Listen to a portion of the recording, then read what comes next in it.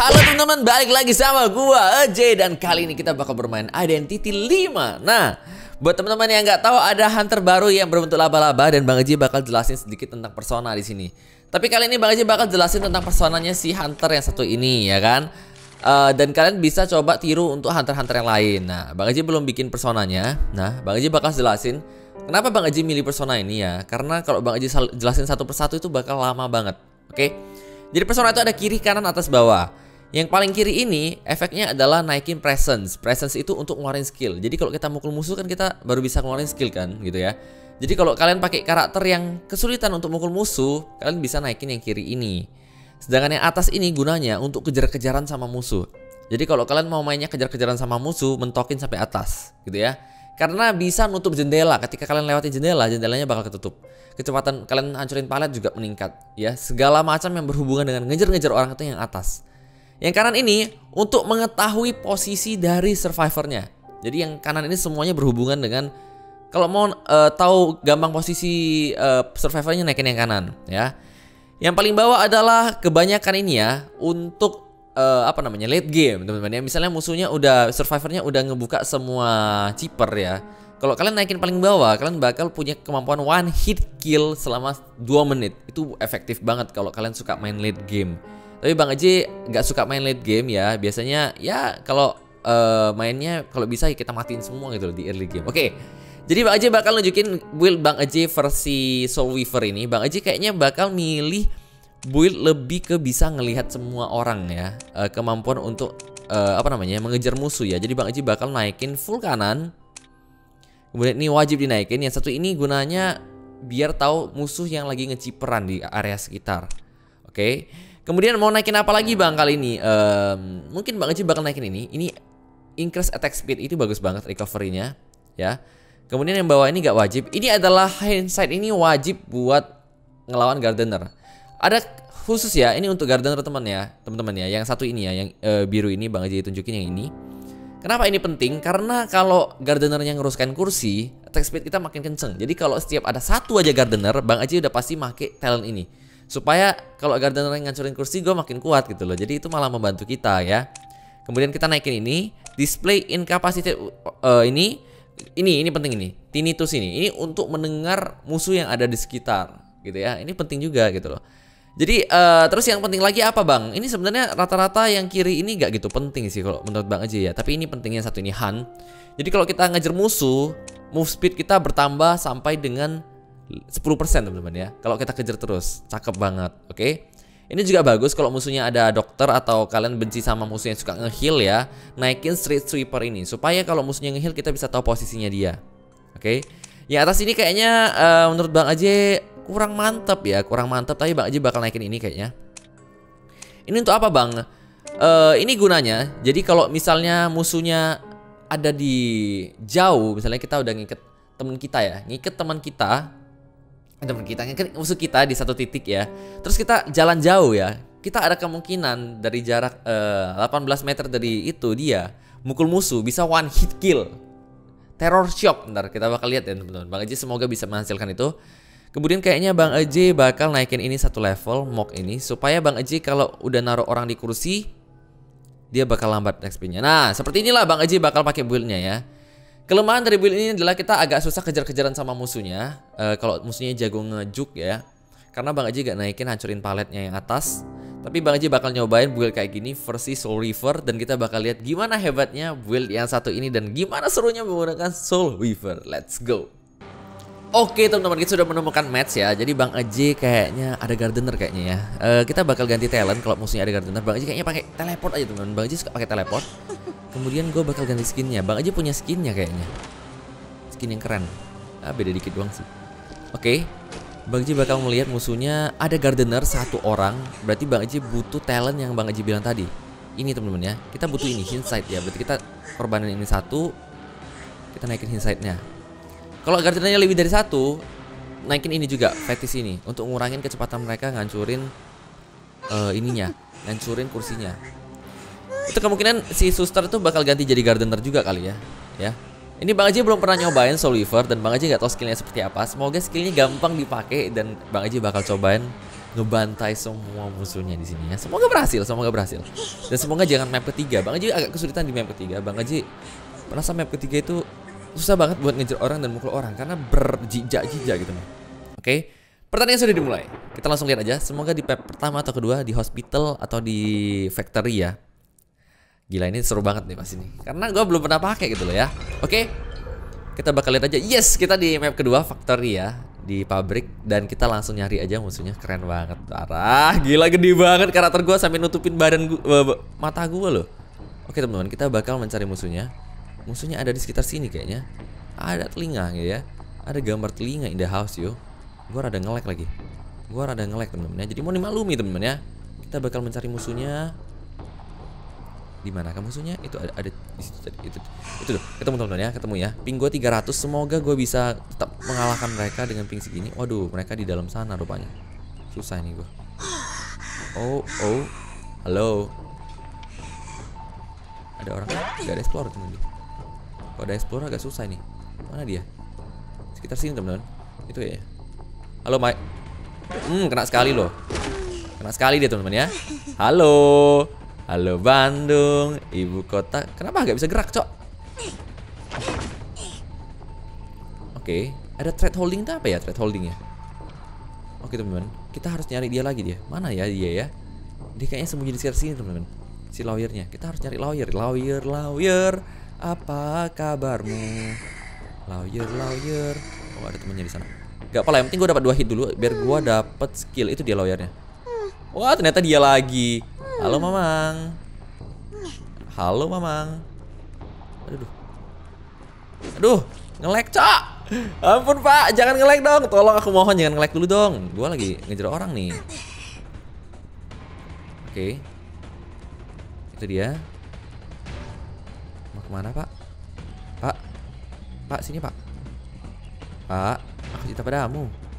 Pak, aku sayang padamu. Hmm. Gak kena loh. Ih gak kena loh. Dia hitnya gimana sih itu? Ah. Sabar ya kawan-kawan ya. Kira gue tolol apa? Hmm kena gak loh Kena dia teman-teman Kena. Mampus gue. Oke Gue dapet satu ekor teman-teman. Tapi chippernya udah hancur dua sialan Eh udah selesai dua kurang ajar. Gue gua pakai cara licik aja. Langsung gue bungkus aja. Uh bisa dibungkus langsung coy. Bungkus di tempat coy. Oke sabar. Uh, Ini bisa apa? Ini? Skillnya apa nih? Oh ini bisa bikin perangkap teman-teman. Bisa bikin perangkap ya. Oh bukan ini untuk nyemprot orang Nyemprot orang. Ini ini apa ini? Oh ini bikin Oh ini bikin perangkap. Oh keren ya. Baru tahu gak bisa kayak gini. Oke. Okay. Dokternya gue bisa ngelihat di situ posisinya. Sekarang kita bunuh dokternya teman-teman. Satu udah kita bungkus lawyernya. Dokternya kita tahu posisinya Lawyernya kita tinggal kita matiin dokternya mereka jauh-jauh itu dokternya di sana dokternya pasti mati teman-teman halo dokter apa kabar baik-baik saja ke kamu di sana baik-baik saja ke kamu di sana It's, it's, it's, it's, it's, it's, it's, it's. Aduh, ngelek, ngelek. Ngelek. Uh, dia shock. Aduh, kasihan sekali teman-teman dia ya. Ini yang Bang Aji bilang ya, teman-teman ya. Uh, jadi kalau jarak kita dengan yang pertama itu jauh teman-teman kita bisa one hit kill ya kan? Yang pertama udah mati lawyernya ya kan? Gue kira gue bakal kalah. Ternyata oh ternyata di luar prediksi gue hebat sekali karakter ini. Bahkan gue belum nyobain skillnya loh. Gue cuman mukul biasa doang. Skillnya apa ya? Ini skill ada yang bisa ngeludahin orang? Gue taruh perangkap dulu biar musuhnya nggak bisa nolongin dia. Gue taruh perangkap kayak gini Oke. Okay. Nah, jadi kalau mau nolongin dia pasti kena slow gitu ya. Eits. Kena gak dia? Gue udah sempat mukul sekali sih. Gak apa-apa. Itu dia. Gak bisa kabur kamu. Mau ke mana? Mau ke mana? Gue coba ludahin ya. Eh. Sabar, sabar.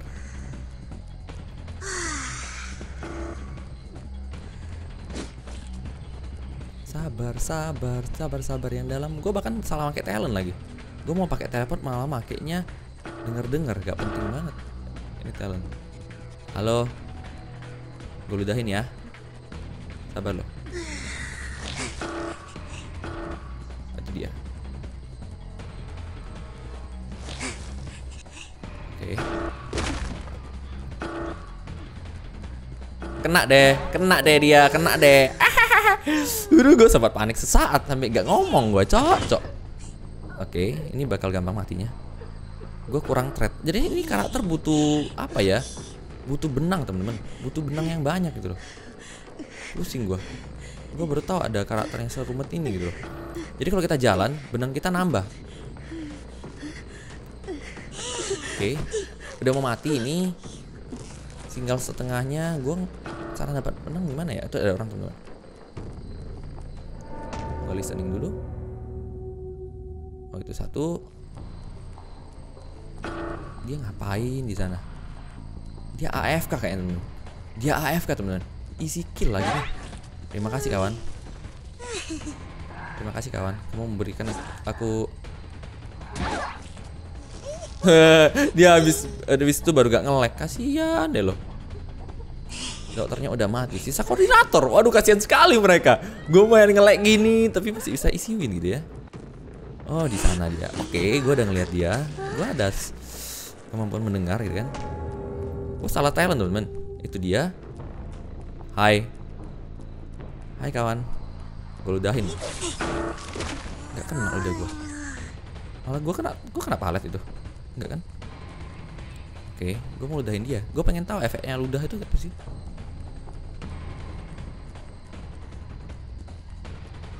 Nalu, Nalu, mana lu? Nalu, Nalu.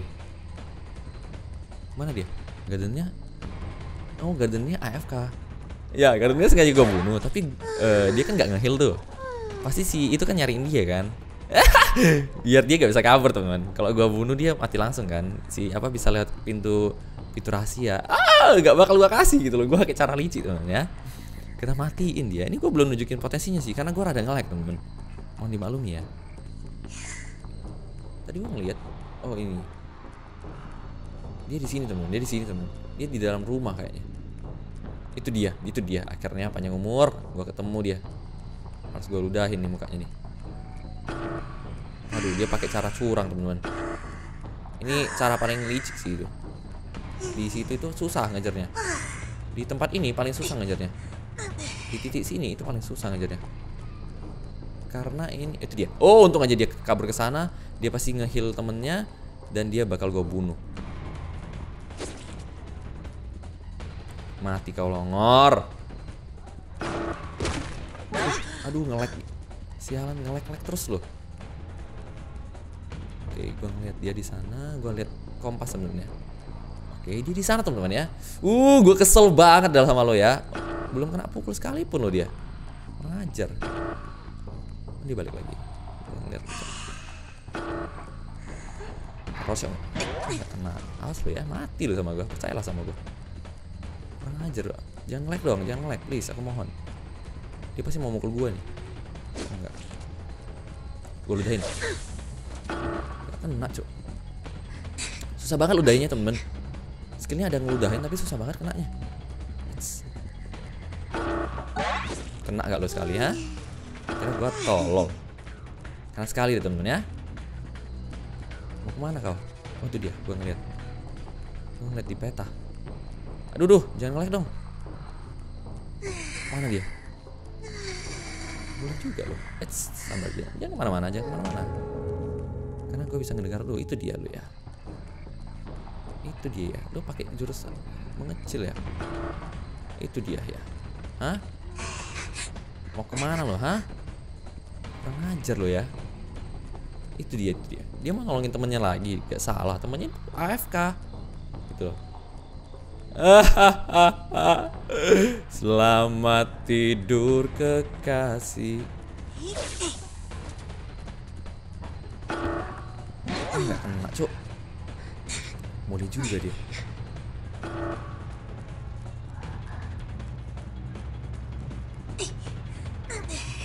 Oke dia? Manakah kau berada, coy? Di manakah kau berada, coy? Dia kabur teman-teman. Dia sekitar sini. Kurang ajar. Jangan sampai dia ketemu pintu. Oke. Ayo dong, salah langkah dong. Dia masih belum salah langkah teman-teman. Ini cukup lama loh ini dia. Bertahan dari gua nih. Awas kalau ping gua tadi gak nge-lag udah mati dia berkali-kali. Oh itu dia, itu dia, itu dia, itu dia, itu dia, itu dia. Hmm, hmm, hmm. Bye bye lah sudah kamu ya, nak ya. Mau ke mana kamu nak? Semoga gak dapat pintu keluar kamu nak ya. Ku patahin leher kamu nak. Sini nak, hah? Itu dia, itu dia, itu dia, itu dia. Udah ketemu pintu keluar ya? Belum ya?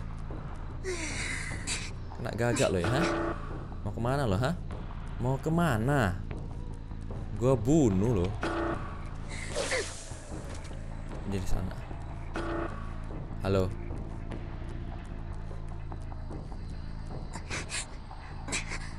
Mana lo ya? Mana lo, Tong? Mana dia? Hilang lagi dia, kurang ajar, jago juga dia. Itu dia. Lewat sana dia. Pinter dia, cerdas dia, teman. Susah banget nangkapnya dia pakai skill explorer kayaknya nih. Itu dia. Wah, bener-bener nari bocah. Ya berantem, cok. Itu dia. Masih berani ciperan dia. Gila nih orang gangguan jiwa, cok. Aduh, nge-lag, cok. Jangan nge-lag dong, aku mohon. Biar gue bunuh dulu satu orang ini. Kesel banget gue. Mana dia?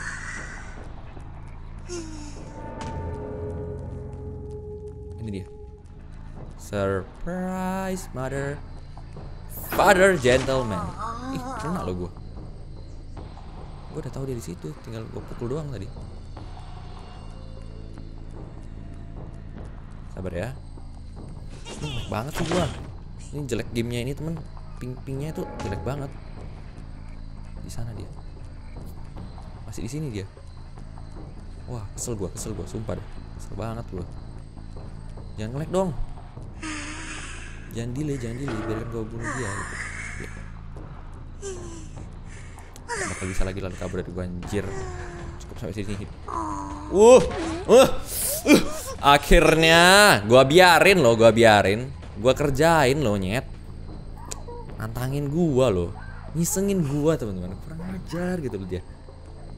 Siapa yang ngajarin lo ya? Lu kira gua bakal biarin lu hidup? Makan nih. Hmm, gua baru jadi mumi loh. Ya elah teman-teman, akhirnya tewas dia, teman. Uh, keselnya ya elah. Ah, tapi kita menang juga akhirnya. Dia gak dapet pintu, teman-teman. Wah, Gila, kesel banget gue Beneran dah, kesel Tapi akhirnya mati juga dia Walaupun dia tadi kabur pun Bang aja tetap menang Tapi kesel Ya tuh sampai kebun-ubun kayak Ya elah jangan nge dong jadi kan kita menang teman-teman dengan skor yang lumayan bagus ya. Musuhnya level 100 semua, 4 sejago-jago. Jago ini. Si koordinatornya lumayan teman-teman, tapi untungnya dia ketemu pintu terakhir. Wah. Ntar gue bakal nyobain lagi pakai laba-laba. Gue belum nunjukin potensinya. Gue cuma nyobain. Jadi dia punya tiga skill. Dia punya skill untuk ngebalok musuh supaya mati di tempat. Kedua dia bisa bikin perangkap supaya musuhnya kena slow dan dia bisa ludahin musuh. Tapi Bang Haji menurut Bang Haji kurang bagus. Susah banget kenanya skill ludahinnya. Bang Haji belum kenain musuh sama sekali. Kalau apalagi musuhnya udah pro kayak gini teman-teman ya. Pasti lebih bagus banget menurut Bang Haji. Jadi sekian video kali ini semoga kalian terhibur. Jangan lupa tekan like, share, dan subscribe. And see you again in the next video. Bye bye.